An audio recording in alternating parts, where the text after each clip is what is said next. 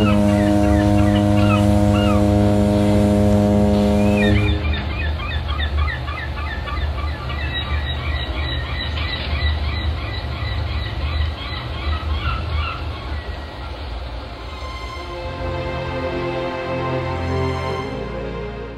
flashing red beacon of the Coney Island Lighthouse played a big part in my childhood. I watched it at a distance from my bedroom window each night before going to sleep. It was predictable and reassuring, and I dreamed of bathing in its warm red light, soothed by the sound of foghorns and ocean surf. The lighthouse was built in 1890 on a leveled sand dune at Norton's Point. A few years later, the private community of Sea Gate sprang up around it, and the lighthouse became hidden from the public. Even to this day, many people don't even know it exists.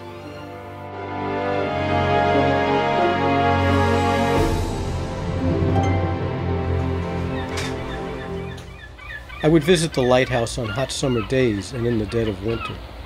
The last time I met Frank Schubert, the lighthouse keeper, I photographed him in front of the keeper's house and told him that I'd seen an old picture of him in a magazine with his arm around the light beacon. He was bathed in red light.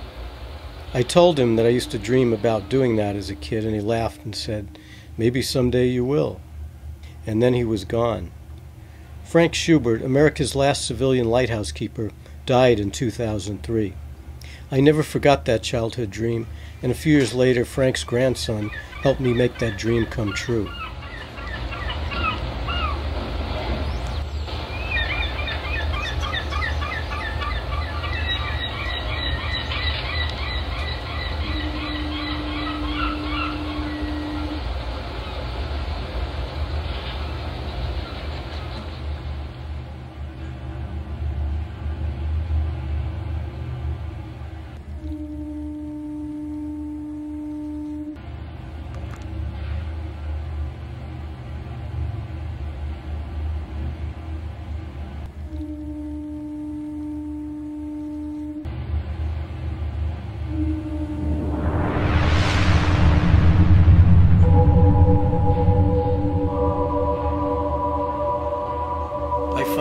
Climbed the spiral staircase and stared into the glowing red eye of my youth.